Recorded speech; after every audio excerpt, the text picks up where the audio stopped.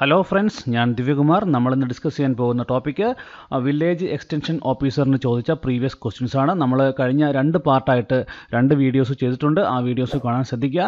നമ്മളിന്ന് പത്തോളം questions explain ചെയ്യും. അതോടൊപ്പം തന്നെ ഒരു ക്വസ്റ്റ്യൻ നമ്മൾ ആൻസർ ചെയ്യുമ്പോൾ അതിനെ കണക്ട് ചെയ്തിട്ട് നമ്മൾ അഞ്ചോ എട്ടോ ക്വസ്റ്റ്യൻസ് നമ്മൾ പറയുന്നതായിരിക്കും. സോ നമുക്ക് ഏതാണ്ട് ഒരു നൂറിൽ കൂടുതൽ ക്വസ്റ്റ്യൻസ് നമുക്ക് ഏകദേശം കിട്ടുന്നതായിരിക്കും. Okay so we will go to the question number one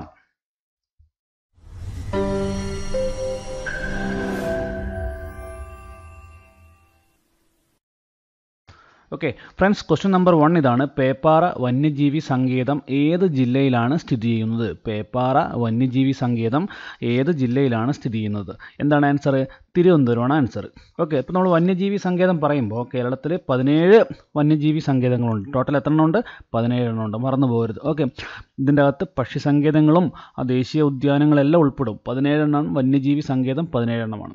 ഇനി ചോദിക്കുന്ന ക്വസ്റ്റ്യൻസ് എന്താണ്? ഇതിൽ ആദ്യത്തെ വന്യജീവി സങ്കേതം ഏതെന്ന് ചോദിക്കാറുണ്ട്. പെരിയാറാണ് പെരിയാർ. ഇനി പി എസ് ഇങ്ങനെയും ചോദിച്ചിട്ടുണ്ട്.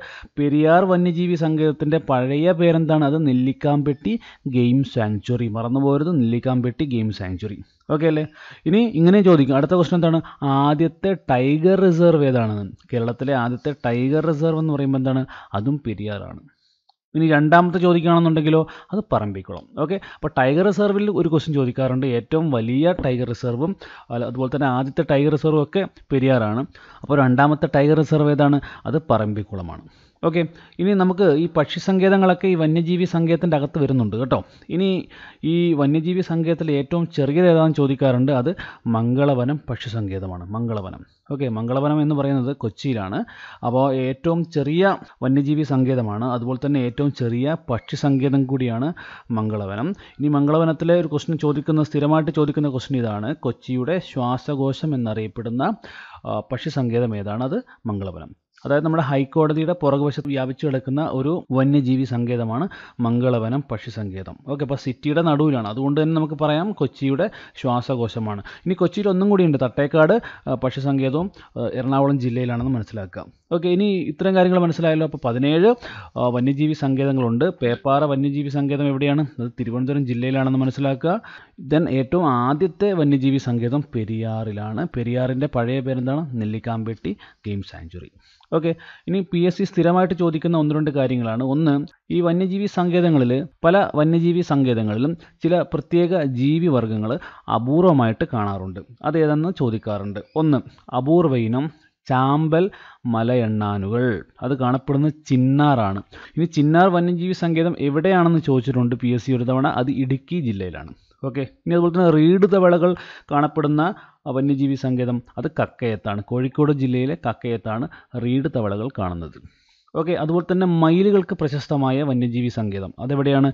ചൂളന്നൂർ. പാലക്കാട് ജില്ലയിലെ ചൂളന്നൂറാണ് മയിലുകൾക്ക് പ്രശസ്തമായിട്ടുള്ള വന്യജീവി സങ്കേതം. അപ്പോൾ മയിലുകൾക്ക് പ്രശസ്തം എന്ന് പറയുമ്പോൾ അത് പക്ഷി സങ്കേതമാണ്. ഓക്കെ വന്യജീവി സങ്കേതവും പക്ഷി സങ്കേതമൊക്കെ ഒരൊറ്റ ഗണത്തിൽപ്പെടുത്താം ഓക്കെ അപ്പോൾ ഇത്രയും കാര്യങ്ങളാണ് ഇവിടെ ചോദിച്ചിട്ടുള്ളത്. So we will move to the second question okay friends രണ്ടാമത്തെ ചോദ്യമാണ് കേരളത്തിലെ ഏറ്റവും വലിയ ജലവൈദ്യുത പദ്ധതി ഏതാണ്? കേരളത്തിലെ ഏറ്റവും വലിയ ജലവൈദ്യുത പദ്ധതി ഏതാണ്? ഏതാണ് ഉത്തരം? ഇടുക്കി. എല്ലാവർക്കും അറിയാം ഇടുക്കി. ഓക്കെ ഇടുക്കി അപ്പോൾ ഏത് നദിയിലാണ്? അത് പെരിയാർ. ഓക്കെ അപ്പോൾ കേരളത്തിൽ ഏറ്റവും കൂടുതൽ ജലവൈദ്യുത പദ്ധതിയുള്ള നദിയും കൂടിയാണ് പെരിയാർ. ഓക്കെ അപ്പോൾ ഇടുക്കിയിലാണ് ഏറ്റവും കൂടുതൽ ജലവൈദ്യുത പദ്ധതികളുള്ളതെന്നും കൂടി മനസ്സിലാക്കുക. അപ്പോൾ ഇടുക്കി നമുക്കറിയാലോ അപ്പോൾ ഇടുക്കി വളരെ പ്രധാനപ്പെട്ട ഒരു ജലവൈദ്യുത പദ്ധതിയാണ് ഹൈഡ്രോ ഇലക്ട്രിക് പ്രൊജക്റ്റ് എന്ന് പറയുന്നു ഓക്കെ ഇനി ഇടുക്കി ജലവൈദ്യുത പദ്ധതിയുടെ പവർ സ്റ്റേഷൻ പവർ സ്റ്റേഷൻ നിൽക്കുന്നത് എവിടെയാണ്? അത് മൂലമറ്റത്താണ് കേട്ടോ. മൂലമറ്റത്താണ് ഇടുക്കി ജലവൈദ്യുത പദ്ധതിയുടെ പവർ സ്റ്റേഷൻ നിൽക്കുന്നത്. ഇനി ഇവിടെ ചോദിക്കാൻ സാധ്യതയുള്ള ക്വസ്റ്റ്യൻസ് എന്തൊക്കെയാണ്? ശബരിഗിരി എന്ന് പറയുന്നുണ്ട്. ശബരിഗിരി എന്താണ്? അത് പത്തനംതിട്ട ജില്ലയിലുള്ള ഹൈഡ്രോ ഇലക്ട്രിക് പവർ സ്റ്റേഷനാണ് ഓക്കെ പമ്പാ നദിക്ക് കുറെ. പത്തനംതിട്ട എന്ന് പറയുമ്പോൾ എന്താണ്? പമ്പാ നദിയാണെന്ന് മനസ്സിലാക്കുക. അപ്പോൾ കല്ലടയാർ എന്താണ്? കല്ലട. കല്ലട എന്നൊരു ഓപ്ഷനിലുണ്ടല്ലേ അപ്പോൾ കല്ലട എന്ന് പറയുമ്പോൾ എന്താണ്? കേരളത്തിലെ ഏറ്റവും വലിയ ജലസേചന പദ്ധതിയാണ്. ജലസേചന പദ്ധതിയാണ്. ഓക്കെ ജലവൈദ്യുത പദ്ധതിയല്ല ജലസേചന പദ്ധതിയാണ്. കേരളത്തിലെ ഏറ്റവും വലിയ ജലസേചന പദ്ധതിയാണ് കല്ലട. കല്ലടയാർ എന്ന് പറഞ്ഞ നദിക്ക് കുറുകെയാണ് കൊല്ലം ജില്ലയിലാണ്. അതുപോലെ തന്നെ പീച്ചി എന്താണ്? പീച്ചി ഡാം. കേരളത്തിലെ ഏറ്റവും പഴയ ജലസേചന പദ്ധതിയാണ് പീച്ചി ഡാം. ഓക്കെ തൃശ്ശൂർ ജില്ലയിലാണ് പീച്ചി ഡാമിന്റെ ലൊക്കേഷൻ. അപ്പോൾ ഇത്രയും മനസ്സിലാക്കുക. ശബരിഗിരി എവിടെയാണ്? പത്തനംതിട്ട. കല്ലട എവിടെയാണ്? കൊല്ലം ജില്ല. പീച്ചി എവിടെയാണ്? തൃശ്ശൂർ ജില്ല. ഇടുക്കി ഇടുക്കി ഡാം. നമുക്കറിയാം കേരളത്തിലെ ഏറ്റവും വലിയ ജലവൈദ്യുത പദ്ധതിയാണ് ഇടുക്കി. ഇടുക്കി ഡാമിന്റെ പ്രവർത്തനവുമായി ബന്ധപ്പെട്ട് സഹായിച്ച രാജ്യം ഏതാണ്? കാനഡയാണ്. ഇതൊക്കെ പി എസ് സി ചോദിക്കാറുണ്ട്. ഇനി ഇതിൽ വളരെ ഇമ്പോർട്ടന്റ് ആയിട്ട് രണ്ട് ചോദ്യങ്ങളാണ്. കേരളത്തിലെ ആദ്യത്തെ ജലവൈദ്യുത പദ്ധതി ഏതാണ്? കേരളത്തിലെ ആദ്യത്തെ ജലവൈദ്യുത പദ്ധതി പള്ളിവാസലാണ്. പള്ളിവാസൽ ആയിരത്തി തൊള്ളായിരത്തി നാൽപ്പതിൽ കമ്മീഷൻ ചെയ്തതാണ് പള്ളിവാസൽ. ഈ രണ്ടാമത്തെ ചോദിക്കുകയാണെന്നുണ്ടെങ്കിലോ അത് ചെങ്കുളമാണ്. ചെങ്കുളം. പള്ളിവാസൽ ചെങ്കുളം. ഓക്കെ ഇത് രണ്ടും മുതിരപ്പുഴയ്ക്ക് കുറുകയാണ്. മുതിരപ്പുഴ എന്ന് പറയുമ്പോൾ എന്താണ്? അത് ഇടുക്കി ജില്ലയിലാണ് മുതിരപ്പുഴയുടെ ലൊക്കേഷൻ ഓക്കെ അപ്പം പള്ളിവാസലും ചെങ്കുളവും മറക്കണ്ട. പള്ളിവാസൽ കേരളത്തിലെ ആദ്യത്തെ ജലവൈദ്യുത പദ്ധതി. രണ്ടാമത്തെ ആരാണ്? ചെങ്കുളമാണ്. Okay so we will go to the third question friends ഇതാണ് ചോദ്യം. നീണ്ടകര ഏത് മേഖലയിലാണ് പ്രശസ്തം? നീണ്ടകര ഏത് മേഖലയിലാണ് പ്രശസ്തം? നല്ലൊരു ചോദ്യമാണ്. നീണ്ടകര ഏത് ജില്ലയിലാണ്? കൊല്ലം ജില്ലയിലാണ്. ഏതാണ് മേഖല? മത്സ്യബന്ധനവുമായിട്ട് ബന്ധപ്പെട്ട ഒരു പ്രശസ്തമായ സ്ഥലമാണ് നീണ്ടകര.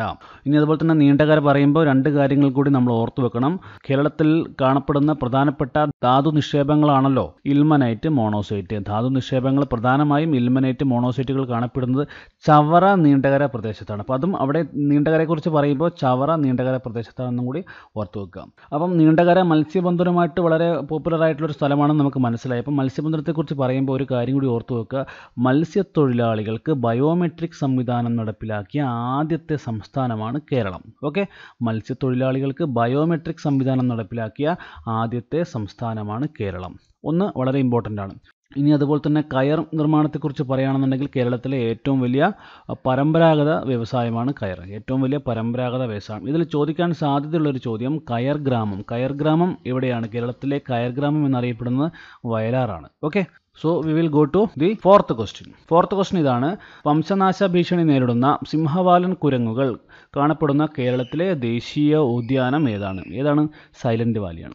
വളരെ ഇമ്പോർട്ടന്റ് ആണ് വംശനാശ ഭീഷണി നേരിടുന്ന സിംഹവാലൻ കുരങ്ങുകൾ കാണപ്പെടുന്ന കേരളത്തിലെ ദേശീയോദ്യാനം സൈലന്റ് വാലി. അപ്പം മംഗളവനത്തെക്കുറിച്ച് നമ്മൾ പറഞ്ഞു കഴിഞ്ഞേ ഉള്ളൂ. കേരളത്തിലെ ഏറ്റവും ചെറിയ വന്യജീവി സങ്കേതമാണ് മംഗളവനം കൊച്ചിയുടെ ശ്വാസകോശം എന്നറിയപ്പെടുന്നു.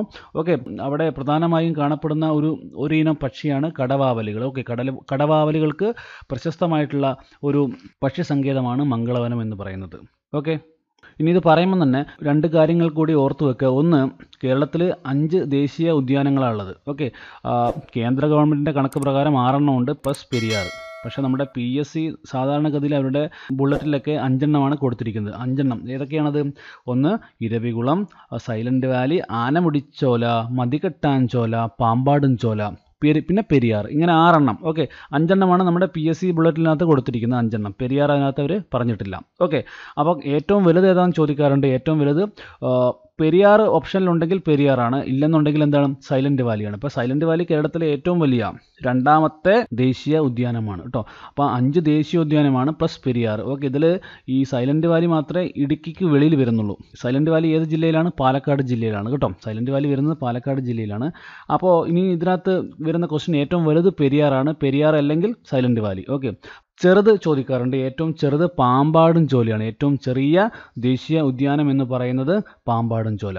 ഓക്കെ അപ്പോൾ ഇനി ഇതിൽ ഒന്ന് രണ്ട് തവണ ചോദിച്ച ക്വസ്റ്റ്യൻ ഞാൻ പറയും. Eravikulam national park. Eravikulam national park Idukki ജില്ലയിലാണ്. അവിടെ സംരക്ഷിക്കപ്പെടുന്ന ഒരു മൃഗമുണ്ട് വരയാടാണ്. വരയാടിന്റെ സംരക്ഷണ കേന്ദ്രമാണ് ഇരവികുളം നാഷണൽ പാർക്ക്. സൈലന്റ് വാലിയെക്കുറിച്ച് പറയുമ്പോൾ ഒന്ന് രണ്ട് കാര്യങ്ങൾ കൂടി ഓർത്തു വെക്കുക. ഒന്ന് സൈലന്റ് വാലി ദേശീയ ഉദ്യാനമായിട്ട് പ്രഖ്യാപിച്ചതാരാണ്?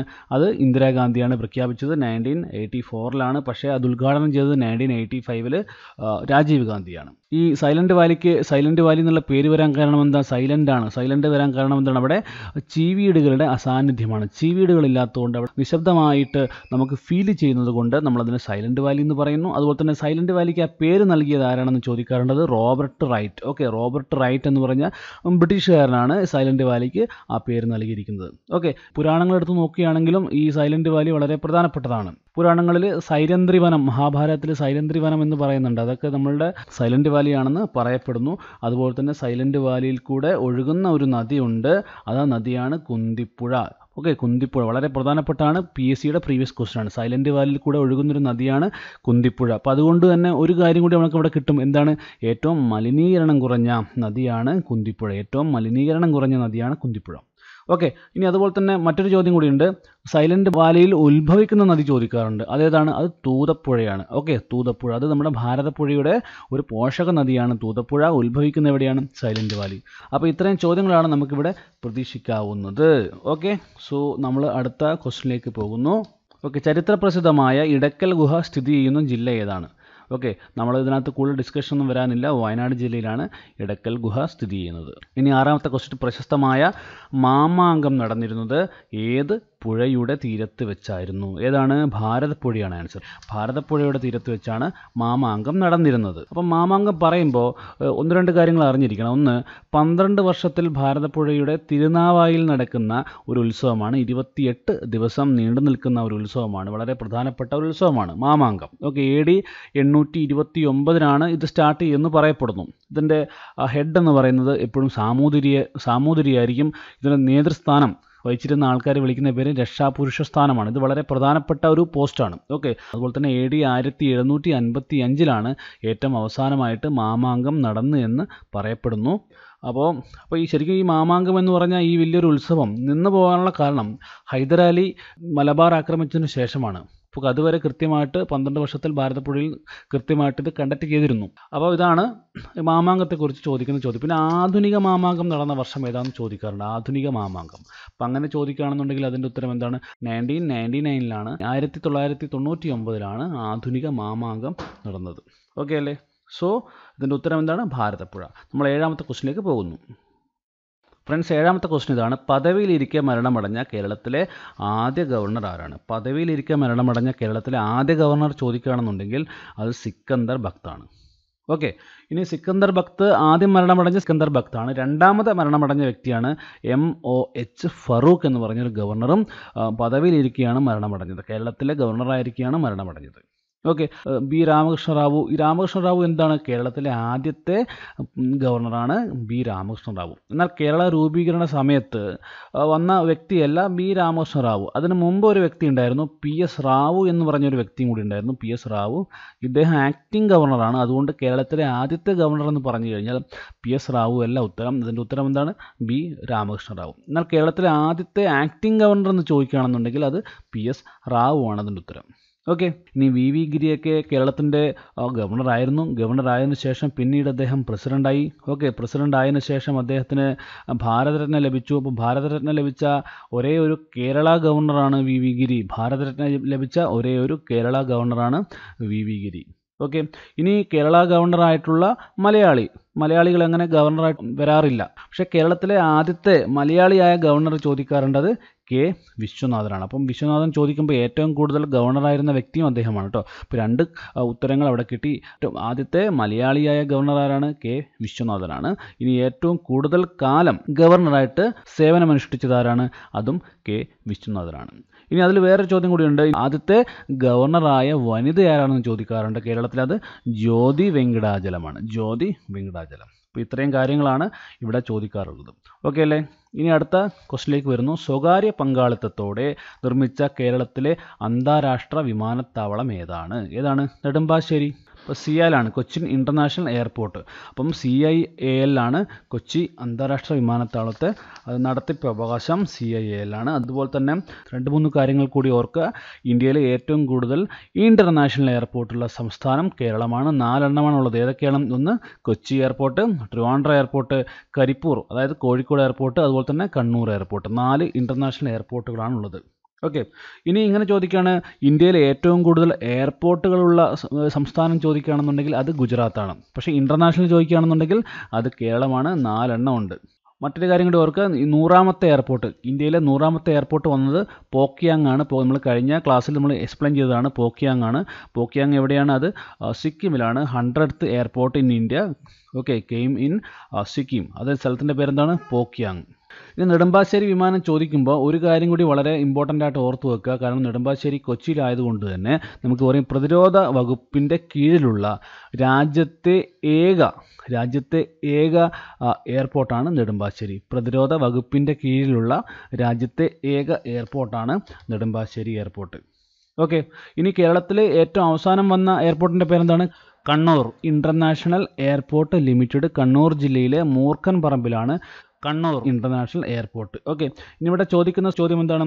ഇതിന്റെ കണ്ണൂർ. ഇന്റർനാഷണൽ എയർപോർട്ട് ലിമിറ്റഡ് ആണ്. ഓക്കെ അപ്പോൾ അതിന്റെ ചെയർമാൻ ആരാണ്? മുഖ്യമന്ത്രിയാണ്. അതിന്റെ എം ഡിയുടെ പേര് ചോദിക്കാറുണ്ട്. എം ഡി എം ഡി ആരാണ്? അത് വി. തുളസീദാസ് ആണ്. കണ്ണൂർ. ഇന്റർനാഷണൽ എയർപോർട്ട് ലിമിറ്റഡിന്റെ എം ഡി ഓക്കെ പുതുതായിട്ട് വന്നുകൊണ്ട് ചോദിക്കാൻ സാധ്യതയുള്ള ഒരു ചോദ്യമാണ്. ഓക്കെ അല്ലേ? അതുപോലെ തന്നെ ഈ വിമാനത്തെക്കുറിച്ച് പറയുമ്പോൾ ഒരു കാര്യം കൂടി നമ്മൾ പറയാം. ഇന്ത്യയിൽ വിമാന ഗതാഗതത്തിന്റെ വ്യോമ ഗതാഗതത്തിന്റെ പിതാവ് എന്നറിയപ്പെടുന്ന വ്യക്തി ആരാണ് J R D Tata. J R D Tata. ഇത്രയും കാര്യം കൂടി ഓർത്തു വെക്കുക. ജെ ആർ ഡി ടാറ്റയാണ് വിമാന ഗതാഗതത്തിന് വേണ്ടി ആദ്യത്തെ ലൈസൻസ് കിട്ടിയ വ്യക്തിയും പുള്ളി തന്നെയാണ്.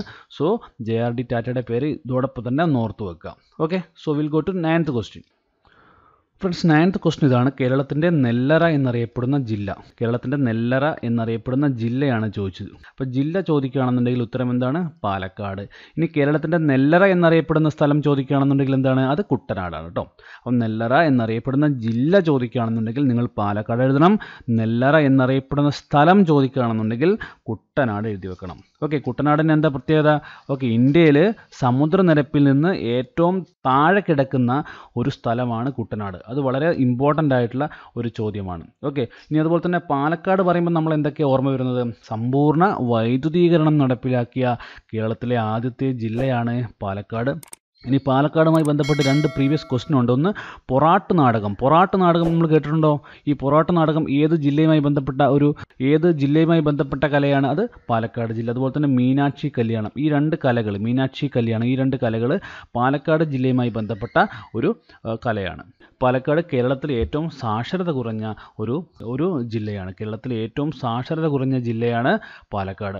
അതുപോലെ തന്നെ പി എസ് സിയുടെ ഒരു പ്രീവിയസ് ക്വസ്റ്റ്യൻ ആണ്. ജൈനമേട് കേരളത്തിലെ പ്രശസ്ത ജൈന തീർത്ഥാടന കേന്ദ്രമാണ് ജൈനമേട്. ഈ ജൈനമേട് ഏത് ജില്ലയിലാണ്? ജൈനമേട് പാലക്കാട് ജില്ലയിലാണ്. കുമാരനാശാൻ അദ്ദേഹത്തിന്റെ വീണപൂവ് എന്ന് പറഞ്ഞ ഒരു കവിതാ സമാഹാരം എഴുതിയത് ജൈനമേട്ടിൽ വെച്ചാണ്. ഇതും ഒരു previous P S C question ആണെന്ന് ഓർക്കുക. Okay so will go to tenth question tenth question ഇതാണ് തമ്പി വേലായുധൻ ചെമ്പകരാമൻ എന്ന യഥാർത്ഥ നാമം ആരുടേതാണ്? വളരെ ഇമ്പോർട്ടന്റ് ആണ് വളരെ ഈസിയുമാണ് ഏതാണ്?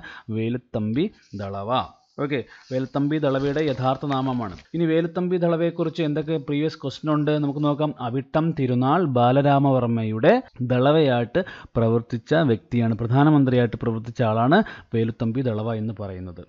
അപ്പോൾ ഈ അവിട്ടം തിരുനാൾ ബാലരാമവർമ്മയുടെ കാലത്താണ്. ഈ ബാലരാമവർമ്മ ഏറ്റവും കഴിവുകെട്ട ഒരു രാജാവായിരുന്നു. അപ്പം ഈ കഴിവുകെട്ട രാജാവാകുമ്പോൾ എന്തായാലും ഒരു കഴിവുള്ള ഒരു പ്രധാനമന്ത്രി വേണമല്ലോ. അപ്പോൾ വേലുത്തമ്പി ദളവയാണ് പ്രധാനപ്പെട്ട ഒക്കെ ഏറ്റവും പ്രശസ്തനായിട്ടുള്ള ഒരു ദളവ എന്നറിയപ്പെടുന്നത്. ഇനി ഇദ്ദേഹത്തിന്റെ കാലഘട്ടത്താണ് ഹജൂർ കച്ചേരി നമ്മുടെ സെക്രട്ടേറിയറ്റ്. ഓക്കെ കൊല്ലത്ത് സ്ഥാപിച്ചത് ഹജൂർ കച്ചേരി കൊല്ലത്ത് സ്ഥാപിച്ചത് വെലുത്തമ്പി തളവയാണ് ഇനി കുണ്ടറ വിളംബരം ബ്രിട്ടീഷുകാർക്കെതിരെ നടത്തിയിട്ടുള്ള ഒരു വിളംബരമാണ് വളരെ പ്രശസ്തമായിട്ടുള്ള ഒന്നാണ്. എയ്റ്റീൻ സീറോ നയൻ ജനുവരി പതിനൊന്നിന് ആ ഡേറ്റ് ഓർത്ത് സീറോ നയൻ ജനുവരി പതിനൊന്ന്. അതുപോലെ തന്നെ സഞ്ചരിക്കുന്ന കോടതി സഞ്ചരിക്കുന്ന കോടതി നമ്മൾ മൊബൈൽ ഇപ്പോഴത്തെ മൊബൈൽ കോർട്ടില്ല അത് അന്ന് ദളവയുടെ കാലത്തുണ്ടായിരുന്നു സഞ്ചരിക്കുന്ന കോടതി എന്ന ആശയം സഞ്ചരിക്കുന്ന കോടതി നടപ്പിലാക്കിയത് ദളവയാണ്. അതുപോലെ തന്നെ ജീവത്യാഗം ചെയ്ത സ്ഥലം അത് ഓർത്തു വെക്കുക ആയിരത്തി എണ്ണൂറ്റി ഒമ്പതിൽ തന്നെ അദ്ദേഹം ജീവത്യാഗം ചെയ്തു. മണ്ണടി ക്ഷേത്രത്തിൽ താണ് അദ്ദേഹം ജീവത്യാഗം ചെയ്തത്. പത്തനംതിട്ട ജില്ലയിലാണെന്നും കൂടി ഓർത്തു വെക്കുക ഓക്കെ. അതുകൊണ്ട് തന്നെ അദ്ദേഹത്തിന്റെ സ്മാരകം നിലനിൽക്കുന്നത് എവിടെയാണ്? മണ്ണടിയിലാണ്. ഓക്കെ. വേദത്തമ്പി ദളവ സ്മാരകം എവിടെയാണ്? മണ്ണടിയിലാണ്. ഓക്കെ. ഫ്രണ്ട്സ് ഇതാണ് നയന്റീൻ ട്വന്റി വണ്ണിൽ ബ്രിട്ടീഷുകാർക്കെതിരെ കേരളത്തിൽ മാപ്പിളമാർ നടത്തിയ സമരം എന്താണ്? മലബാർ കലാപം. ഓക്കെ അത് വളരെ ഇമ്പോർട്ടന്റ് ആയിട്ട് ഓർത്തു വെക്കുക. ഈ മലബാർ കലാപവുമായി ബന്ധപ്പെട്ട് വളരെ കുപ്രസിദ്ധമായ ഒരു സംഭവമാണ് വാഗൺ ട്രാജഡി. ഈ വാഗൺ ട്രാജഡി നടന്ന വർഷവും നയന്റീൻ ട്വന്റി വണ്ണാണ് അത് നവംബർ ട്വന്റി ആണ്. ഇനി പുന്നപ്ര വയലാർ സമരം നടന്ന വർഷം ഏതാണ്? പുന്നപ്ര വയലാർ സമരം നടന്നത് നയന്റീൻ ഫോർട്ടി സിക്സിലാണ് സ്വതന്ത്ര തിരുവിതാംകൂർ ആശയത്തിനെതിരെയും അമേരിക്കൻ മോഡൽ അറബിക്കടലിനെതിരെയും എന്ന ഓക്കെ അത് പ്രധാന മുദ്രാവാക്യം ഇതായിരുന്നു. അമേരിക്കൻ മോഡൽ അറബിക്കടൽ എന്ന മുദ്രാവാക്യം ഉയർത്തിയിട്ടാണ് ഈ പുന്നപ്ര വയലാർ സമരം നടന്നത്. ഇനി ഈ പുന്നപ്ര വയലാർ സമരത്തെ തുലാം പത്ത് സമരം എന്നും വിളിക്കാറുണ്ട്. അതും കൂടി ഓർത്തു വെക്കുക. തുലാം പത്ത് സമരം എന്ന് വിളിക്കുന്നത് പുന്നപ്ര വയലാർ സമരമാണ്. പിന്നെ കയ്യൂർ സമരം എവിടെയാണ്? നയന്റീൻ ഫോർട്ടി വണ്ണിലാണ് ഹോസ്ദുർഗ് കാസർഗോഡ് ജില്ലയിലാണ് കേട്ടോ. കർഷകരുടെ ജന്മിത്തത്തിനെതിരെ നടന്നു വന്നിട്ടുള്ള ഒരു സമരമാണ് കയ്യൂർ സമരം. അത് നയന്റീൻ ഫോർട്ടി വണ്ണാണ് ഇനി അടുത്ത എന്താണ് കരിവെള്ളൂർ കലാപം. കരിവെള്ളൂർ എവിടെയാണത്? കണ്ണൂർ ജില്ലയിലാണ്. കരിവെള്ളൂർ കലാപം കണ്ണൂർ ജില്ലയിലാണ്. കരിവെള്ളൂരിനെ കുറിച്ച് പറയുമ്പോൾ ഓർക്കേണ്ട ഒരു കാര്യം എന്താണ്? കരിവെള്ളൂർ സമരനായിക ആരാണെന്ന് ചോദിച്ചിട്ടുണ്ട് പി എസ് കെ ദേവയാനിയാണ് കേട്ടോ. കരിവെള്ളൂർ സമരനായിക ആരാണ്? കെ ദേവയാനി. ഇത് ഓർത്തു വെക്കുക. ഇനി നമ്മൾ പന്ത്രണ്ടാമത്തെ ക്വസ്റ്റിലേക്ക് പോകുന്നു. സംഘടിച്ചു ശക്തരാകാനും വിദ്യ കൊണ്ട് പ്രബുദ്ധരാകാനും ഉദ്ദേശിച്ച സാമൂഹ്യ പരിഷ്കർത്താവാരാണ് ശ്രീനാരായണ ഗുരു. ഓക്കെ. അപ്പം ശ്രീനാരായണ ഗുരു എന്ന് പറയുമ്പോൾ കുറേ പോയിന്റുകൾ ഓർക്കണം. ഒന്നെന്താണ്? കേരളത്തിന്റെ നവോത്ഥാന പിതാവ് എന്നറിയപ്പെടുന്ന വ്യക്തിയാണ് ഇനി കേരളത്തിലെ മുസ്ലിം നവോത്ഥാനത്തിന്റെ പിതാവ് ആരാണ് വക്കം അബ്ദുൾ ഖാദർ മൗലവി. ഇനി ഇന്ത്യയുടെ നവോത്ഥാനത്തിന്റെ പിതാവ് എന്നറിയപ്പെടുന്ന ആരാണ് അത് രാജാറാം മോഹൻ റോയ് ആണ്. ഓക്കെ. അപ്പം ഈ ശ്രീനാരായണ ഗുരു പറഞ്ഞൊരു കാര്യമാണ് സംഘടിച്ച് ശക്തരാകാനും വിദ്യ കൊണ്ട് പ്രബുദ്ധരാകാനും എന്ന് ഉപദേശിച്ച സാമൂഹ്യ പരിഷ്കർത്താവാണ്. മതമേതായാലും മനുഷ്യൻ നന്നായാൽ മതി. പറഞ്ഞതാരാണ് ശ്രീനാരായണ ഗുരു? ഒരു ജാതി ഒരു മതം ഒരു ദൈവം. പറഞ്ഞതാരാണ് ശ്രീനാരായണ ഗുരു? ഈ ഒരു ജാതി ഒരു മതം ഒരു ദൈവം എന്ന് പറഞ്ഞത് ശ്രീനാരായണ ഗുരുവിന്റെ ഏത് രചനയിലാണ് ഏത് പുസ്തകത്തിലാണ് ജാതി മീമാംസ? ജാതി മീമാംസയിലെ വരികളാണിത്. ഒരു ജാതി ഒരു മതം ഒരു ദൈവം മനുഷ്യന്. ഓക്കെ അത് പി എസ് സി ഒരു തവണ ചോദിച്ചിട്ടുണ്ട്. അതുപോലെ തന്നെ ശ്രീനാരായണ ഗുരു അരുവിപ്പുറം പ്രതിഷ്ഠ നടത്തിയ വർഷം ഓർത്തു വെക്ക് വളരെ ഇമ്പോർട്ടന്റ് ആണ്. അരുവിപ്പുറം പ്രതിഷ്ഠ. പ്രതിഷ്ഠ എന്ന് പറയുമ്പോൾ തന്നെ ഒരു ഠ ഉണ്ടല്ലോ. അപ്പോൾ ആയിരത്തി എണ്ണൂറ്റി എൺപത്തി എട്ടിലാണ് ശ്രീനാരായണ ഗുരു അരുവിപ്പുറം പ്രതിഷ്ഠ നടത്തിയത്. ഓക്കെ ഇനി ഇദ്ദേഹത്തിന്റെ പ്രശസ്തമായിട്ടുള്ള രണ്ട് പുസ്തകങ്ങൾ ഞാൻ പറയട്ടെ. ഒന്ന് ദൈവദശകമാണ് ഒന്ന് ഗജേന്ദ്രമോഷം വഞ്ചിപ്പാട്ട്. ഓക്കെ ദൈവദശകം എഴുതിയത് ആരാണെന്ന് ചോദിച്ചിട്ടുണ്ട് പി എസ് സി. അതുപോലെ തന്നെ ഗജേന്ദ്രമോഷം വഞ്ചിപ്പാട്ട് ശ്രീനാരായണ ഗുരുവിന്റെ ആദ്യത്തെ രചനയാണ് ഇത്രയും കാര്യങ്ങൾ ഓർത്തു വെക്കുക. ഓക്കെ സോ നമ്മൾ അവസാനത്തെ ക്വസ്റ്റിലേക്ക് പോകുന്നു. മാറുമറയ്ക്കുന്നതിനുള്ള അവകാശത്തിനായി ആയിരത്തി എണ്ണൂറ്റി അൻപത്തി ഒമ്പതിൽ കേരളത്തിൽ നടന്ന സമരം ഏതാണ്? ഏതാണ്? വളരെ ഇമ്പോർട്ടന്റ് ക്വസ്റ്റ്യൻ ആണ്. ഏതാണ് ഉത്തരം? ചാനാർ കലാപമാണ്. ഈ ചാനാർ കലാപത്തെ തന്നെയാണ് നമ്മൾ മേൽമുണ്ട് സമരം മാറുമുറക്കൽ സമരം എന്നൊക്കെ അറിയപ്പെടുന്നത്. ഓക്കെ മേൽമുണ്ട് സമരം മാറുമുറക്കൽ സമരം. ഇനി ഇങ്ങനെ നാടാർ ലഹള എന്നും പറയാറുണ്ട്. നാടാർ ഈ നാടാർ വിഭാഗത്തിലാണ് ഏറ്റവും കൂടുതൽ ഈ സംഭവം നടന്നത്. അപ്പോൾ ഇതിനകത്ത് വളരെ ഇമ്പോർട്ടന്റ് ആയ ചോദ്യം ഇതാണ്. ഈ ചാനാർ കലാപത്തിൽ ഉൾപ്പെട്ട ഒരു നവോത്ഥാന നായകന്റെ പേര് ചോദിക്കാറുണ്ട്. ചാനാർ കലാപത്തിൽ ഉൾപ്പെട്ട നവോത്ഥാന നായകന്റെ പേരെന്താണ്? വൈകുണ്ഠസ്വാമി കേട്ടോ വൈകുണ്ഠസ്വാമിയാണ് അതിന്റെ ഉത്തരമായിട്ട് വരുന്നത്. ഇനി മലബാർ കലാപം നമ്മൾ പറഞ്ഞതേ ഉള്ളൂ. ഇനി കുറിച്യ കലാപം എവിടെയാണ് വയനാട്ടിൽ നടന്നതാണ് വയനാട്ടിലെ ആദിവാസികൾ ബ്രിട്ടീഷുകാർക്കെതിരെ നടത്തിയ സമരമാണ് കുറിച്യ കലാപം ഇനി കുറിച്യ കലാപത്തിന്റെ നേതാവിന്റെ പേര് ചോദിക്കാറുണ്ട്. അത് രാമനമ്പിയാണ് ഓക്കെ രാമനമ്പിയാണ് കുറിച്യ കലാപത്തിന്റെ നേതാവ്. ഇനി സാന്താൾ കലാപം എന്താണ്? ഇതുപോലെ ഒരു ഗോത്രവർഗ കലാപമാണ്. ബ്രിട്ടീഷുകാർക്കെതിരെ നടന്ന ഒരു ഗോത്രവർഗ കലാപമാണ് സാന്താൾ ബംഗാളിലാണ്. ഓക്കെ അപ്പോൾ ഈ സാന്താൾ എന്ന് പറയുമ്പം ആദിവാസി വിഭാഗത്തിൽപ്പെട്ട ആൾക്കാരാണ്. ഗോത്ര വിഭാഗം ബ്രിട്ടീഷുകാരെ ആക്രമിച്ചു. ശരിക്കും ബ്രിട്ടീഷുകാർ തോറ്റോടി. രണ്ട് ഘട്ടമായിട്ടുള്ള സമരം ഉണ്ടായിരുന്നു ഒന്നാം ഘട്ടത്തിൽ ബ്രിട്ടീഷുകാരെ തോറ്റോടി. രണ്ടാം ഘട്ടത്തിൽ സന്താൾ വിഭാഗത്തെ ബ്രിട്ടീഷുകാർ തോക്കും. അതുപോലെ തന്നെ വെടിക്കോപ്പുകളും ഉപയോഗിച്ച്. പരാജയപ്പെടുത്തുകയാണ് ചെയ്തത്. സോ അത് വളരെ ഇമ്പോർട്ടന്റ് ആണ് ഇന്ത്യൻ സ്വാതന്ത്ര്യ സമര ഏടുകളിൽ. ഓക്കെ വളരെ പ്രധാനപ്പെട്ട ഒരു സമരമായിട്ട് കാണപ്പെടുന്ന ഒന്നാണ് സാന്താൾ സമരം. അപ്പോൾ സാന്താൾ കലാപം എന്ന് പറയുമ്പോൾ എന്താണ്? ഇന്ത്യയിലെ ഏറ്റവും വലിയ ഗോത്രവർഗ കലാപം ചോദിക്കുകയാണെന്നുണ്ടെങ്കിൽ അതിന്റെ ഉത്തരം സാന്താൾ കലാപമാണ്. എവിടെയാണ് സ്ഥലം? ബംഗാളിലാണ്. ഓക്കെ? സോ നമ്മൾ വൈൻഡപ്പ് ചെയ്യാണ്. നമ്മൾ അടുത്ത പാർട്ട് എത്രയും പെട്ടെന്ന് ഇടും. സോ ഇത് കൃത്യമായിട്ട് നിങ്ങൾക്ക് ലഭിക്കുന്നതിന് വേണ്ടി നിങ്ങൾ താഴെയുള്ള ബെൽ ബട്ടൺ പ്രസ് ചെയ്യുക സബ്സ്ക്രൈബ് ചെയ്യുക. ഓക്കെ? ഈ വീഡിയോ ഇഷ്ടപ്പെട്ടാൽ ലൈക്ക് ചെയ്യുക ഷെയർ ചെയ്യുക. അടുത്ത വീഡിയോയുമായിട്ട് നമ്മൾ എത്രയും പെട്ടെന്ന് എത്തും. So we are winding up here till then bye bye